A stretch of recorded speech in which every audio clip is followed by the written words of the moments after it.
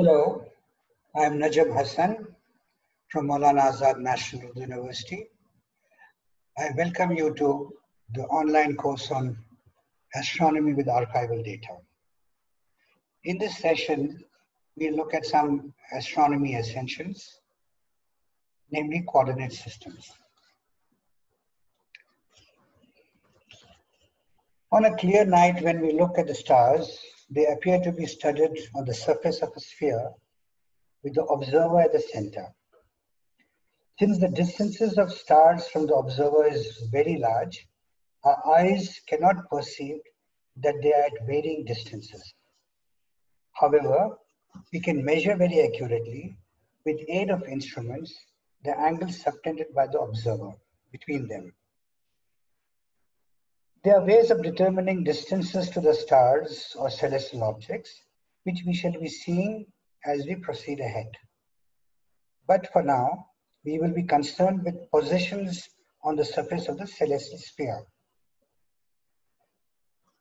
So this picture we have an observer and around him he imagines a celestial sphere. We have these stars in yellow which are at varying distances from him, but he perceives as though they're all sitting on the hemispherical dome around him. Before we proceed with coordinate systems, I would like to talk to you about a little bit about spherical geometry. If you take a sphere and bisect it by a plane, you get the cross sections you get are circular. Any plane which passes through the center of the sphere cuts the sphere in a great circle. And if it passes through the, the celestial sphere, but not through the center, it makes small circles in this picture, we have these circles in orange, great circles, because the planes are passing through the center of the sphere.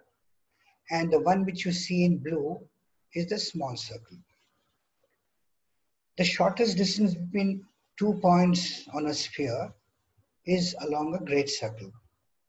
So great circles are equivalent to straight lines on a sphere, which are also called the geodesics. We can construct spherical triangles using these great circles. For example, in this picture we have here a, a great circle made up of arcs AB, BDP, and PCA. This forms a spherical triangle. And we can do geometry on that as we have done it in uh, Euclidean geometry, but this is spherical geometry where straight lines are great circles on the surface of a sphere. And we can get a variety of relations. For example, the sine formula comes out exactly as it is, as in the planar case. Some results would change, but some re remain the same. So if in this picture we have ACP as a great circle, so is BDP.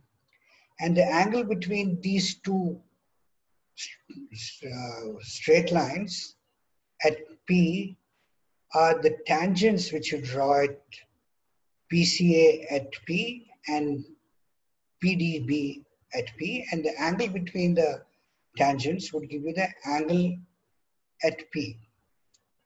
Right, so using that we have the formula sine A by sine small a, that is sine at the angle A here by sine of this arc here will be same as sine of the angle here and sine of this arc AP and sine P by sine of arc AB.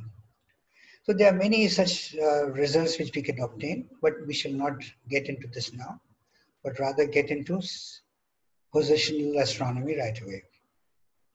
So the first coordinate system I would like to discuss is the horizontal coordinate systems, where we use horizon as our reference plane. So we have in this picture here an observer standing on some point on Earth, and the point right ahead, on top of his head is the zenith, which we mark it by Z. The observer is at O. Zenith is the point right overhead. And if you take a plane and bisect the celestial sphere, yeah, take a plane which is perpendicular to OZ and bisect the celestial sphere, the surface which we, plane which we get here is called the horizon. So I've marked the region below the horizon which is not visible to the observer by dashed lines, while what he observes is what he sees above the horizon. So, uh, and if P is the location of the Polaris, the pole star, you draw a great circle joining the zenith, P all the way down, and the point where it meets the horizon is called the north. The side diametrically opposite is the south. If the observer is facing north, 90 degrees on his right will be east, and 90 degrees on his left will be west. So if we need to give the coordinates of the star X, we draw a great circle from the zenith point Z, X, and see where it meets the horizon. And the angle AOX is called the altitude. It's the angle above the horizon. And uh, which is denoted by small a. And for the other coordinate, we measure the angle subtended by the ON, the north point, to where this A meets. This NOA gives you the azimuthal angle, right? So you have, you measure it eastwards and all the way 360 degrees.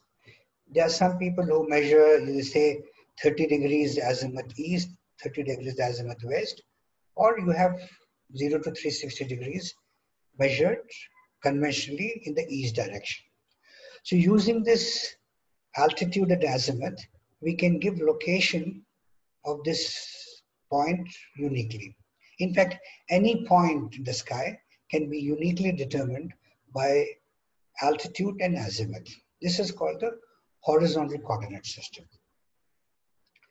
Uh, I have the same picture here. I have removed the earth below to make it more clearer.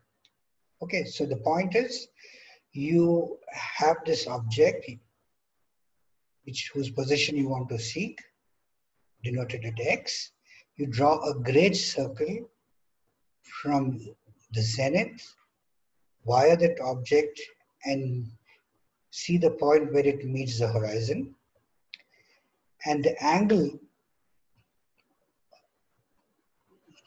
AOX is the altitude and the angle AON measured in the horizontal plane gives you the azimuth. When we draw the celestial sphere, we should be conscious about uh, the latitude of the place. So here I have P, which gives me the position of Polaris the pole star. And if my location, this angle from horizon to P should be the latitude of the place. So if you are standing close to the equator or at equator, then the pole star will uh, be at the horizon. But when you are on the north pole, then the pole star will be right above. P and the zenith point will coincide.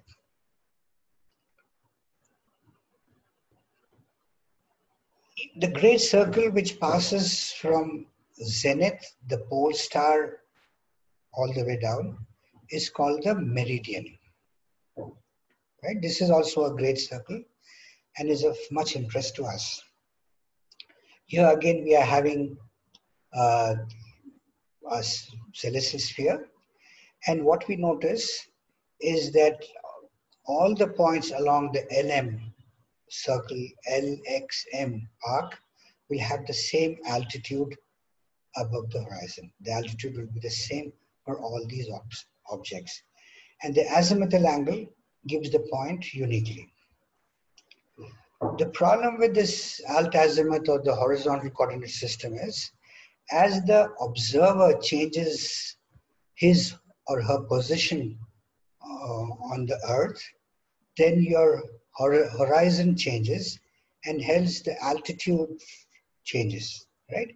So we have two pictures here where uh, the observer is standing at a higher uh, latitude here and the zenith which is anyway the point right overhead is here.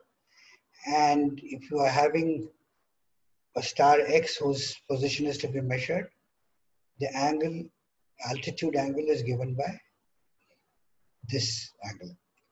But if the observer changes his position to another latitude somewhere lower then the zenith is in a different direction and hence the plane which is perpendicular to this OZ axis is something else. So your reference plane keeps changing, hence the altitude of the same object in, from two different locations would be different.